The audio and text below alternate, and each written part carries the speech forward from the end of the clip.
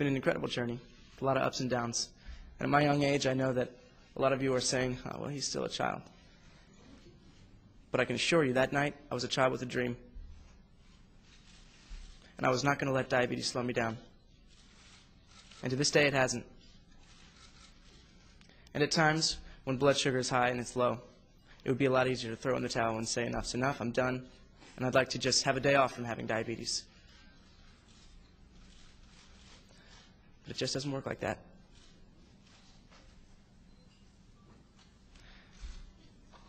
And so when I meet these kids that come up and say that me telling my story has inspired them, oftentimes I laugh and just say, it's hard to believe. Because when I talk about it and when I share my story, I'm just, I'm just saying what happened. And to think that it could encourage and inspire someone somewhere in the world is an amazing thing. And it's, it's, it's crazy to think that the song that I wrote, a little bit longer, is something that, that helps someone somewhere. I was at a piano in, in, in Canada as we were shooting a movie called Camp Rock. And it was a day where, where my blood sugar was out of range and it was a tough day. But I sat down at the piano and the song came so easily. And it was kind of self therapy for me in the moment. But last night, I met at least 10 kids with diabetes who said that that song touched them. And again, it's hard to believe.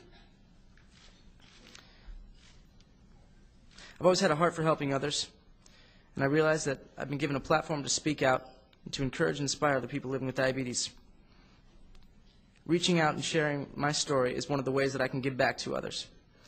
My brothers and I also started the Change for the Children Foundation, where we give to organizations that help children. Last year alone, we raised over $1 million for charities that are close to our hearts. These funds went to such organizations including pediatric diabetes research, education and treatment, as well as diabetes camps. For the past year, I've been an ambassador for young people with diabetes as a part of the partnership I have with Bayer Diabetes Care. Our goal is to encourage and inspire kids living with diabetes with their simple wins, which are everyday victories for managing your diabetes. We started a website called nicksimplewins.com. Each day I accomplish some of my simple wins that I wouldn't be able to do um, without the support of my family and friends who help me manage my diabetes every day.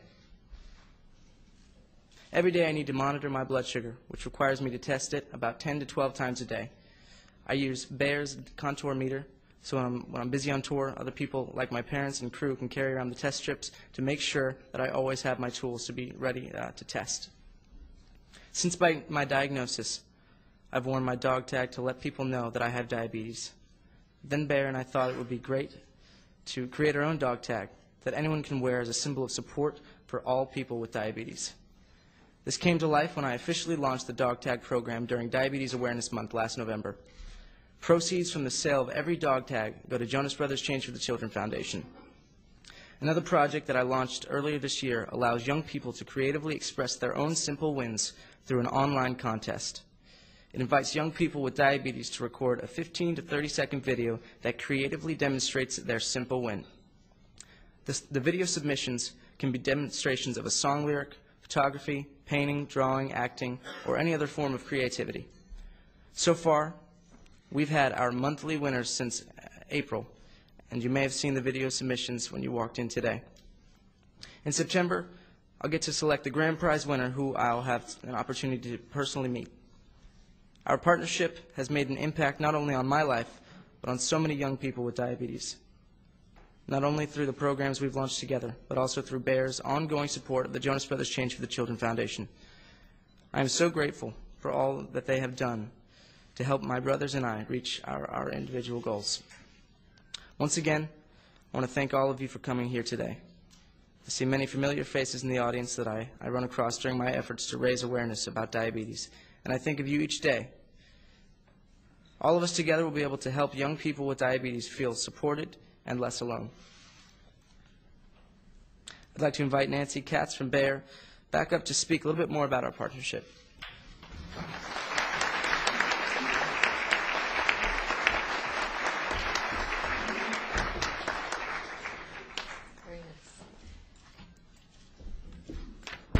I want to do this. It looks so cool. Sorry. Okay, so good, good afternoon. I'm Nancy Katz, and I'm Regional Head of Bayer Diabetes Care for North America. Thanks, Nick, once again, for sharing your story. I can't think of a more fitting place to do so than here at the Historic National Press Club.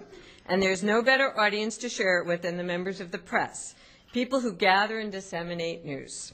We're delighted you could all join us here today. A couple of years ago, we at Bayer took notice of a young rising star named Nick Jonas who publicly acknowledged that he had diabetes.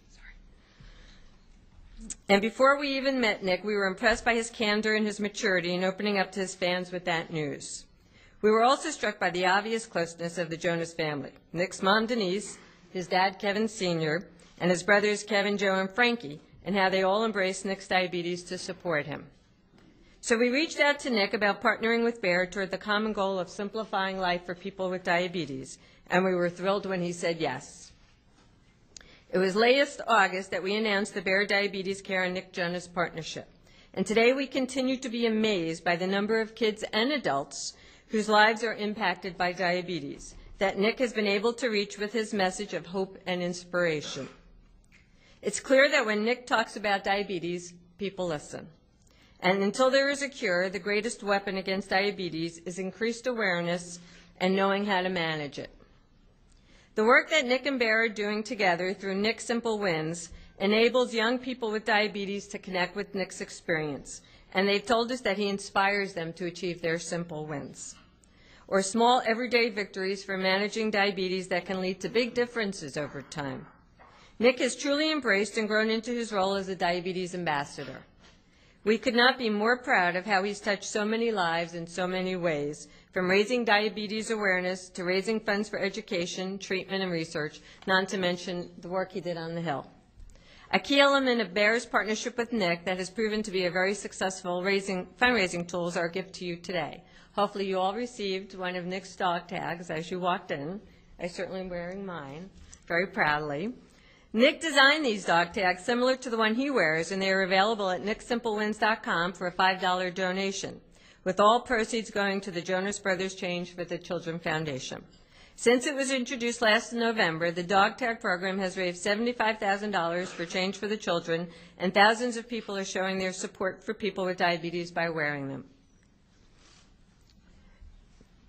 Nick, to launch our partnership last year, Bayer made an initial donation of $100,000 to the Jonas Brothers Change for the Children Foundation for you and your brothers.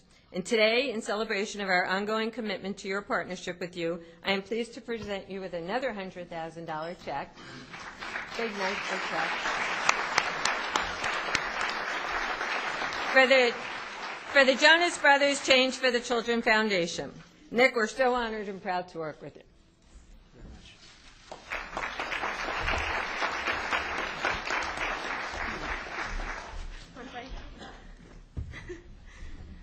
Are you uh, done with your speech? Yes. Okay. Well, we're going to go uh, to the many questions you all have for Nick. So um, the first one comes from Galit, age 16, who was diagnosed with juvenile diabetes at age 12. As, it, as an international celebrity, you serve as an inspiration to those of us living with juvenile diabetes. How did you make the decision to, to share this very personal struggle with the public? What were some of the things that you had to think about before you went public? I think the main thing was making sure that I had it under control myself before I talked about it uh, publicly. Um, so for the first six months, um, I continued to learn on my own and with my family how to manage my diabetes, how to properly take care of it, to make sure that I could then feel comfortable to be able to speak in front of people and, and really share my story.